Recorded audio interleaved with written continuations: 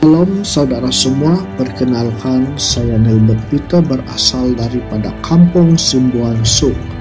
Saya akan ditabiskan menjadi diakon pada 10 November tahun 2024 ini.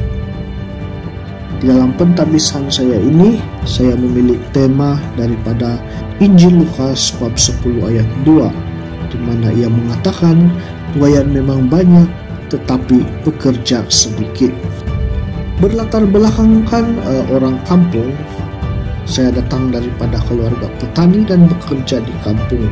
Dan sebagai pekerja sendiri di kampung saya mengusahakan tanaman padi bersama-sama dengan keluarga.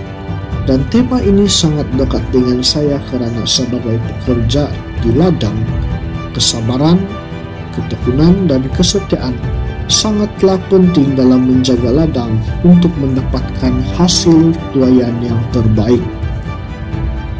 Melihat padi tumbuh dan berbuah juga mengajar saya untuk sentiasa mau merendah diri, sama seperti padi yang semakin berisi, semakin merunduk.